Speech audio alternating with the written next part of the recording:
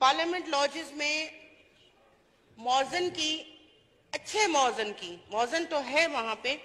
लेकिन अच्छे मौजन की ज़रूरत है। वहाँ पे आ,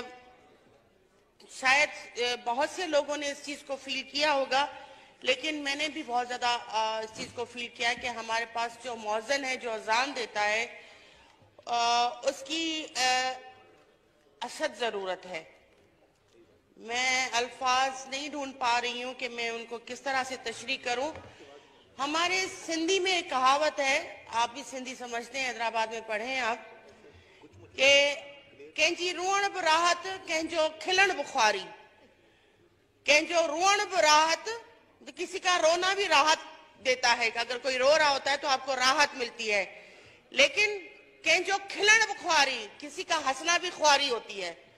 तो अभी जो मौजन अजान देता है, मैं उसकी शान में कुछ भी नहीं कह सकती। लेकिन अजान वो चीज़ है जो आपकी रूह और आपके जो आपकी तासुरात हैं, उनको वो फीलिंग्स दे कि आप चाहे कितने भी ज़रूरी काम में मसरूफ क्यों ना हो,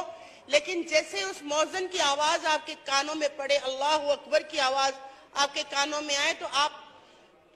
खुद साख्ता वो सब चीज़ें छोड़ के अल्लाह की तरफ़ जो है वो रुजू करें और भागना शुरू करें कि जाके मैं सरबसजूद हूँ इस मौजन के पेशमाम जो खड़ा है वहाँ पे वहाँ पे जाके अल्लाह के हुजूर जो है वो सरबसजूद हूँ। लेकिन हमारे पास बदकिस्मती से जो लाजिस में मौजन है ना, वो जब अजान देता है तो एक अजीब किस्म की बेजारी होती है कि ये चुप कर जाए तो मैं सच कह रही हूँ ये मेरी अपनी फीलिंग्स हो सकती हैं हो सकता है किसी और की भी हो। मैं माफ़ी चाहती हूँ उस बात पे लेकिन खुदारा मेरी रिक्वेस्ट है कि अ, हमें अच्छे मौजन की ज़रूरत है पार्लियामेंट लॉजेस में और